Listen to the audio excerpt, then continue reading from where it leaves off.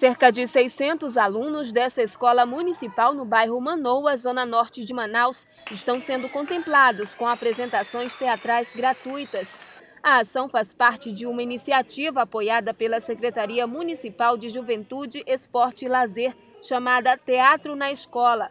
O projeto teve início nesta terça-feira e busca levar ações de consciência ambiental e de combate ao bullying. É um projeto que a gente já desenvolve desde o ano passado e essa já é a décima edição.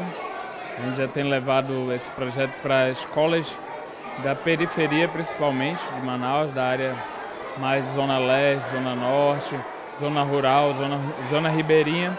Atentos, os alunos assistiram ao espetáculo Cambará e a Terra Encantada. O elenco é formado por estudantes de teatro da Universidade do Estado do Amazonas. Cambará e a Terra Encantada é uma adaptação livre da obra de Graciliano Ramos, A Terra dos Meninos Pelados, que conta a história de uma criança que sofria constantemente com bullying na escola.